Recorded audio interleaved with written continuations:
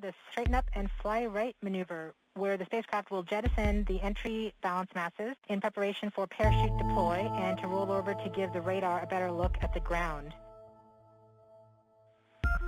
Applicate indicate chute deploy.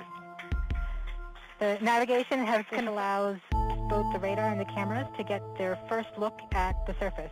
Current velocity is 145 meters per second at an altitude of about 10 kilom 9.5 kilometers above the surface.